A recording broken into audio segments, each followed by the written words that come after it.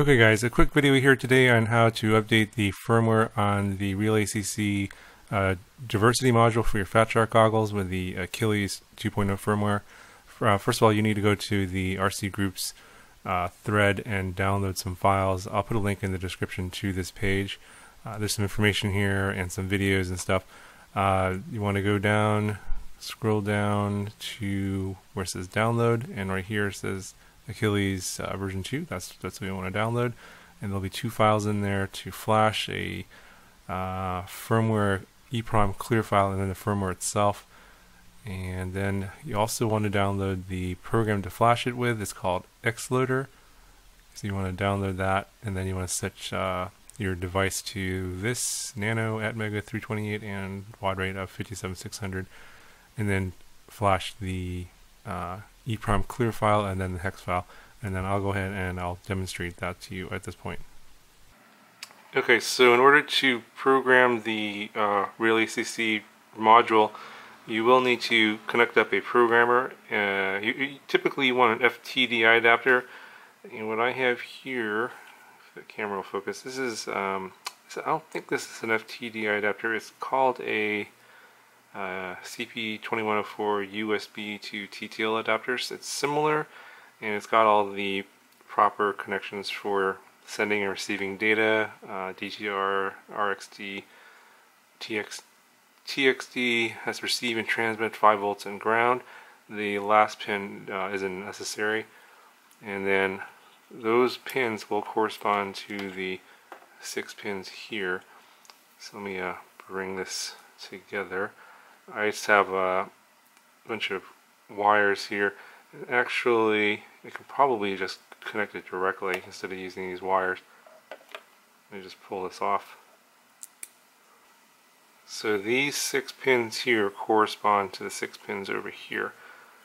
And so DTR should be on the left and receive and transmit and so you should be able to just slide this in like so and you will kind of need to have uh, this at an angle so that there is some pressure on the pins so that you don't lose contact otherwise it might power off while you're flashing it in which case it, it's a, there's a danger of actually bricking it so you should uh, make sure that you hold this or have maybe some uh, helping hands or something to hold this together so that this connection isn't lost while it's flashing. So I'll go ahead and I'll plug in the USB cord now. Should get power, start flashing, and then the module should power up. There we go. This is very tricky. And you do want to make sure that you're you don't lose power while you're doing this. So I have it set so that it's it's now um, looks like it's, it's, it's fairly stable, so I'll go ahead and I'll flash it now.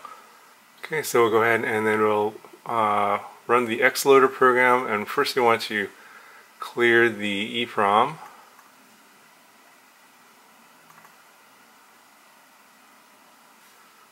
And we want to, for the device we want to select uh, Nano Atmega 328 baud rate of 57600 and then you're going to have to find your COM port.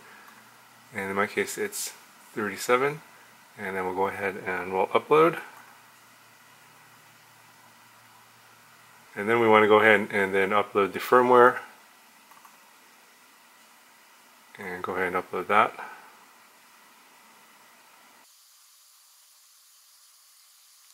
Okay and that'll do it See, we rebooted, we got the Achilles logo on the startup screen, and it's prompting us to do the calibration at this point.